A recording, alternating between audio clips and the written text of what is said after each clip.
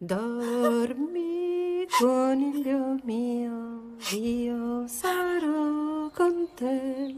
Gli occhi socchiudi ma sono rossi però.